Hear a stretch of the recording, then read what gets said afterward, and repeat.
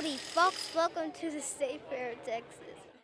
Desde las horas tempranas del día, varios espectadores tomaron asiento para ver la instalación del quien describen como el vaquero favorito de Texas. Pues el, el- el favorito, el, el- el que se ve en donde quiera. so. Y ver la instalación de Big Tex cada año para la señora Lusk es aún más especial, pues desde 1996 forma parte del equipo de costureros que hacen el atuendo del vaquero. Bueno, yo empecé con, desde el primero que hicieron en 97. Yo no hice el primer patrón, pero yo hice todos los patrones después de eso. Bueno, es que este año estamos de manteles largos celebrando los 70 años de Big Tex.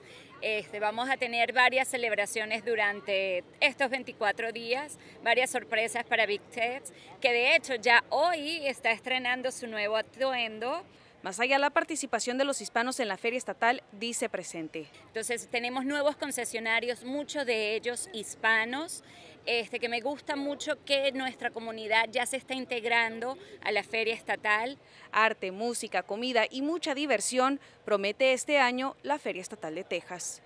¿Cuándo vamos a ver a Mrs. Tex?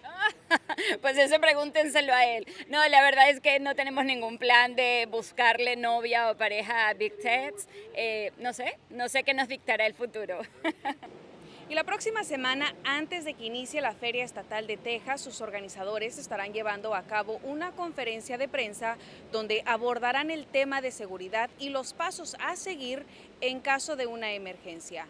Nuestro equipo de noticias, por supuesto, estará presente y lo mantendremos informado.